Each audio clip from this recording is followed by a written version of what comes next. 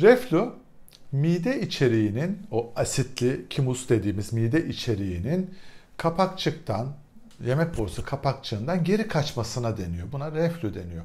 Bunun birçok nedeni var. Şu an çok uzun olduğu için bunu uzun uzun paylaşmayacağım ama reflünün e, nedenlerinden bir tanesi enfeksiyon.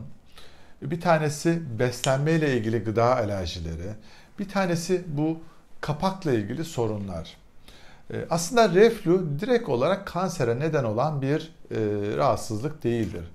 Ama tedavi edilmeyen ve beslenme şartlarına uymayan bir reflü hastasında uzun yıllar sonucunda başta yemek borusu olmak üzere kanser riski olabilir.